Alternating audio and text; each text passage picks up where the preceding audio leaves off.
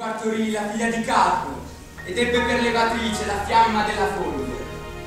Ho mutato il mio aspetto divino in sembianze umane.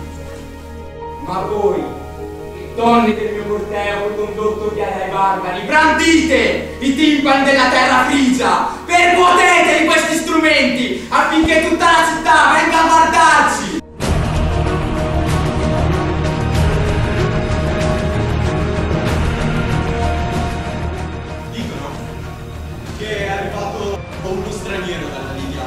uno stregone, uno che fa gli incantesimi.